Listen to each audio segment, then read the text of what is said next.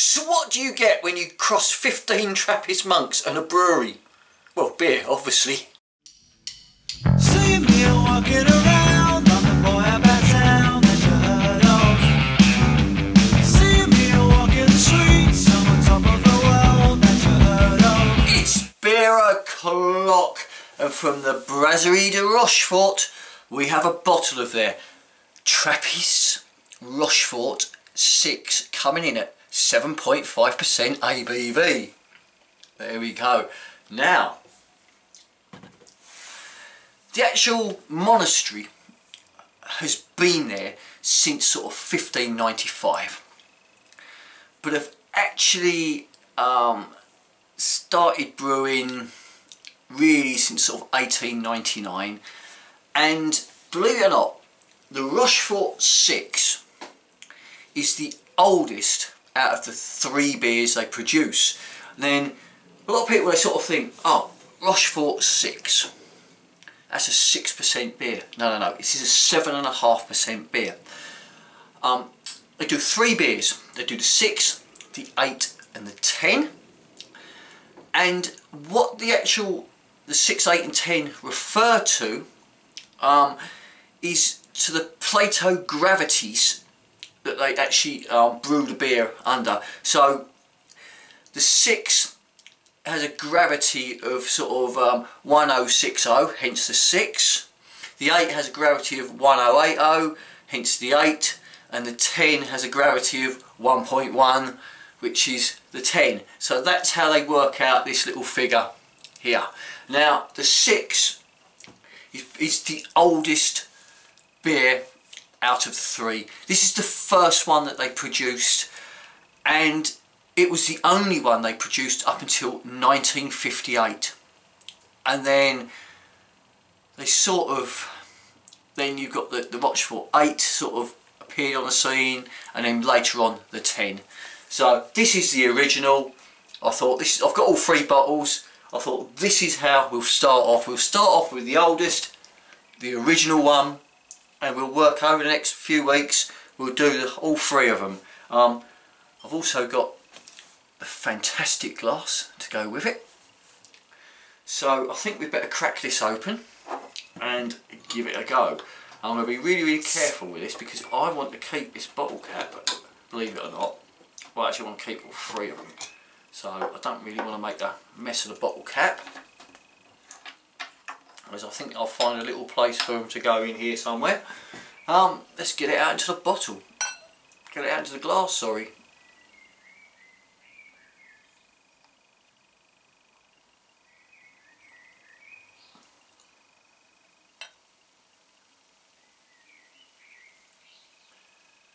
I'm going to pour this with a lot of love as you can see. Let's get this in there nice and perfect. Let's just swizzle around the yeast because it re-ferments in the bottle.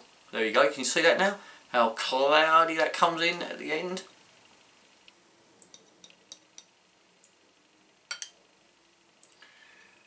There we go. A perfectly poured Trappist, Trappist Rochefort. Now, look at the colour of that. It's reddish. Um, it's cloudy, but it's a beautiful, has a red hue to it. Um, sort of, it's a bit like um, cherry wood. Have you ever seen like cherry wood furniture? Where it's that, that sort of brown but that, it's that reddish hue coming through it and especially when it's polished up, you know, the old um, cherry wood furniture. And look at that. It's absolutely fantastic looking beer. I don't know whether you can see the red through the glass, but it's absolutely fantastic. Got to get the aroma of this, haven't we?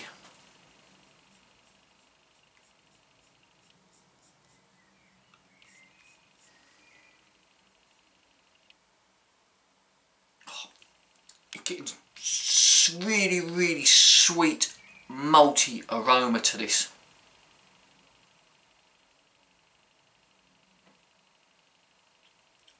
berries. It's it's also got a little bit of tartness there to the smell.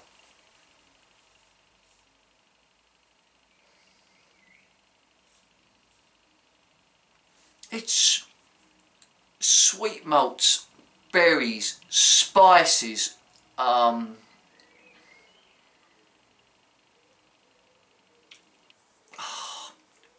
and a, tartness. You can. Probably the Belgium yeast, but it's sometimes it gives that sort of like that sherbet sensation on your nose. Makes your nose tingle. It's giving a, a, a sour tartness on the nose. Um, let's dive in and give it a go.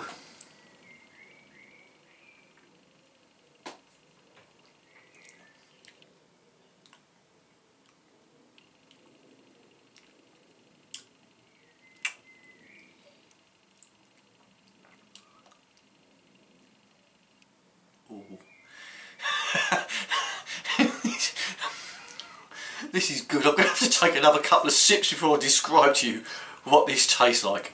Because that first sip has just screwed my brain over. There was so much going on in that first sip of this beer.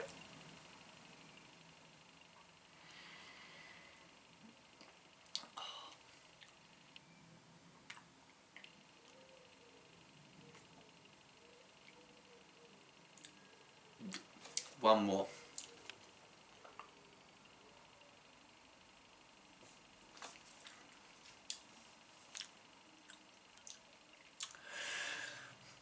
I'm getting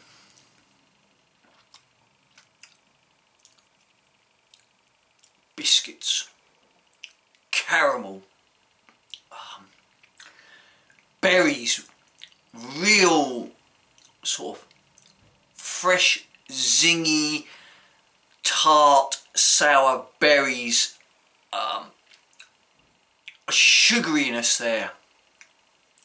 It's a heck of a lot. Uh, even uh, I think there's sort of toffee treacle there. There's a heck of a lot going on in this beer. There really, really is.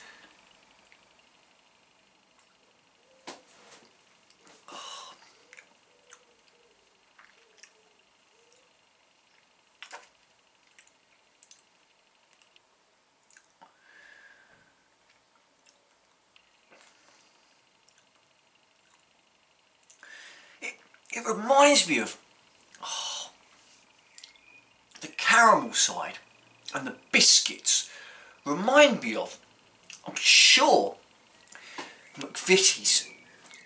And I might be wrong, might not be McVitie's. Someone did a digestive biscuit years ago and it had, instead of chocolate on top like your digestives do, it had caramel on top. And that is the sort of flavour I'm getting with this biscuits and caramel. And then I'm getting these zingy berries, you know, fresh berries, um, young. You know, you say like sometimes like, like some beers it tastes dark fruits, you know, which is dark berries, you know, sort of black forest gatto, that sort of thing. This is sort of young berries. They're zesty, they're zingy, they're tart, they're sour. Um, it's like you've just picked them, you know, you haven't let them ripen up and you've picked them, you know. Um, such a complex taste on this beer, is unbelievable.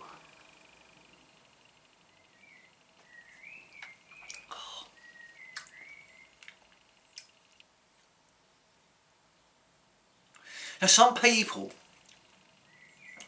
actually reckon that the Trappist Roch Rochefort beers are better than the Westvleterens and I, I do believe that both companies produce three three um, but both uh, we got the West Westvleteren do three and Trappist Rochefort do three. And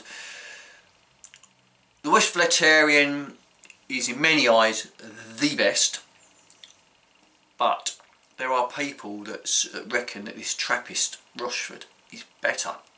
Now, I've not had Westvleteren yet. it's a beer which I'm going to be building up to on the channel. Um, I need to find some first because it's not cheap, but um, this is going to take some beating, and this is just a six. This is this is the first one in the range, like the oldest one in the range. So, how's the others going to go? Are they going to go downhill or uphill? Because I'm actually looking at it and thinking the 8's going to be better than this and the 10's going to be even better. That's the way I read into it at the moment. And I'll tell you what, this is this is just pure luxury. Um, the look at the lacing on the glass, the way it just laces around that glass. Look out, you know, we're talking away, we've still got that beautiful head there on the beer. It's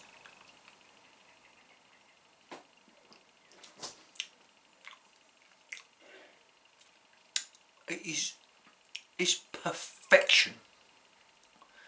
I've never, you know, we've had a lot of beers we, we've reviewed so far on this channel, and there's a lot of beers, you know, there's not many beers I don't like, but there's a few exceptional ones.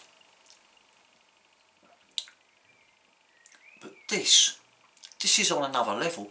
This beer is seriously on another level. Um,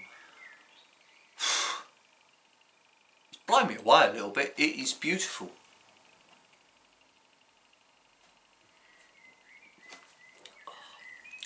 It's just the, the complex of the flavours that are in it. It's just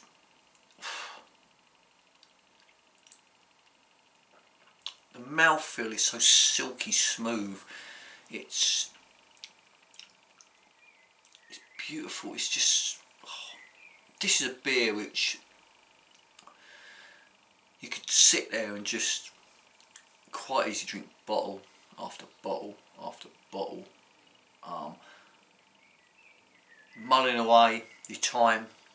Um,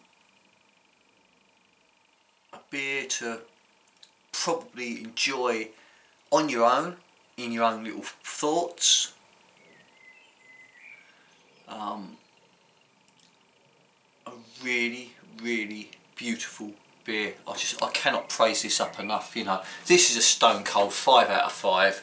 Um, there's no question about it. You, know, this has no other.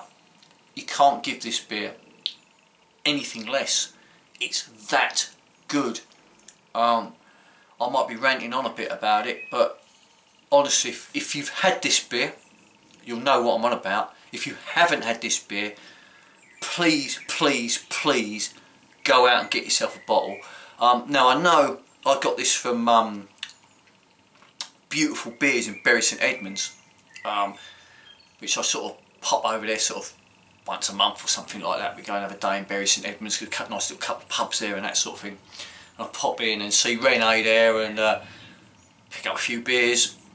Um, very, very nice, knowledgeable bloke. Um, he actually uh, comes from, he's Dutch, he actually comes from a place called Oosterbeek. Oh, sorry, Ooster, Oosterhout. Where I'm going into, I'm staying a night there in September because there's a famous little bar in Oosterhout. And uh, yeah, we're going to go there and visit it. And yeah, he's a very, very knowledgeable chap. Um, he's got a website, you can go online and, and get, get, get, you get, you know, if you can't visit Bury St Edmunds, you can get it online, they'll send it to you. Um, honestly, truthfully, do yourself a favour. Get this beer. And in fact, if you're going to get this beer, might as well just get the free, eh? And, uh, and enjoy them over the next few weeks, as I am going, I'm going to enjoy them too. Um, yeah, get this beer. Try it. Leave a comment below. Um, give us a thumbs up if you like the video. Hit that little bell, get notified every time I bring out a new review and of course subscribe to the channel because without you subscribers the channel's. Nothing really. Um, but seriously do yourselves a favour and buy a bottle of this. You won't be disappointed. And like I always say beer is the answer but I cannot remember the question. Thank you for watching. Good night